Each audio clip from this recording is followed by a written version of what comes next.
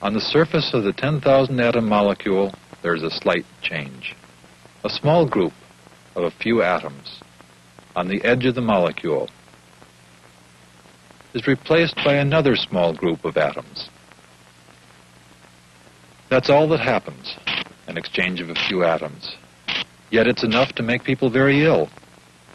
The effect of the change is to create a sticky point between one abnormal molecule and its neighbor, causing molecules to pile up on each other.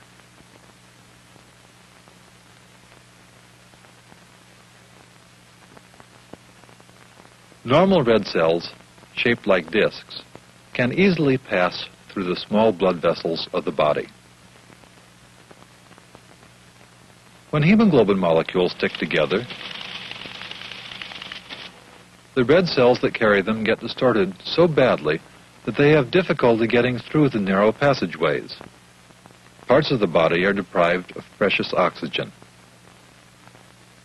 There are thousands upon thousands of ways two molecules might bind, and for the moment, the complete mechanical, structural story of sickling remains a mystery. But knowing where the problem begins, where the first change occurs on the molecule, can be of help in finding a chemical method for reversing the process and helping to cure the first known molecular disease.